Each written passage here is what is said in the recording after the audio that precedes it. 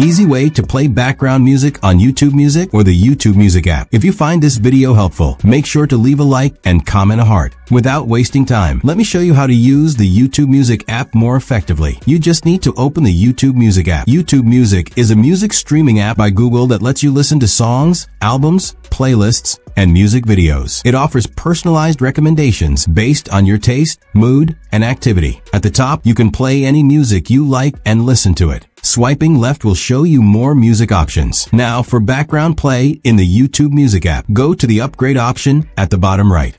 This page will show a YouTube Music Premium offer. It gives you ad-free music, offline listening, and playback with your screen off. Press the button there. Individual means the plan is for one person only. You'll get all music premium features just for yourself, like ad-free and offline music. Family means you can share the music premium plan with up to five other people. Everyone gets their own account with ad-free and offline music, all under one monthly payment. Student is a discounted plan for eligible college or university students. It gives full music premium features like ad-free and offline music at a lower price. Choose whichever plan suits you best. I chose the student plan, so press try one month on that.